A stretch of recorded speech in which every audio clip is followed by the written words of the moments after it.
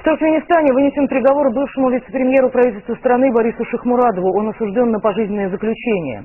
Накануне местное телевидение продемонстрировало видеозапись его допроса. Лидер оппозиции признается, что участвовал в организации покушения на главу республики Сапармурата Ниязова. Независимые наблюдатели задаются вопросом, что заставило Шахмурадова дать такие показания. Трансляция государственного телевидения Туркмении. Заседание Народного совета в прямом эфире. Бурные продолжительные аплодисменты. Делегаты стоя приветствуют Туркменбаши. В повестке дня всего один вопрос. Как наказать организаторов и участников покушения на президента всех туркмен? На большом мониторе показания обвиняемых. Вот заявление бывшего вице-премьера Бориса Шахмурадова, которого здесь называют главным организатором неудавшегося теракта. Мы являемся преступной группировкой мафии.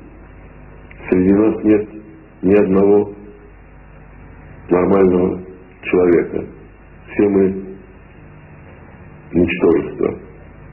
Борис Шахмурадов говорит, что все заговорщики – законченные наркоманы. Они вербовали наемников, чтобы убить Неязова и взять власть в свои руки.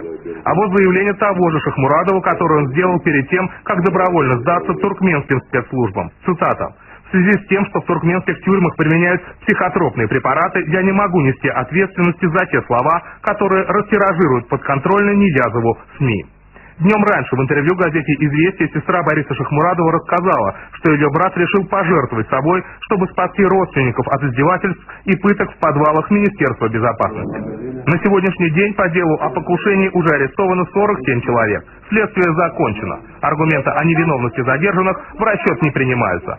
Приговор был известен заранее. Высшая мера – 25 лет тюрьмы. Но сегодня Народное собрание приняло специальную резолюцию. Для изменников Родины высшая мера – пожизненное заключение. Приговор окончательный и обжалованию не подлежит. Сергей Семенов, Сухров Сайдулаев, Первый канал.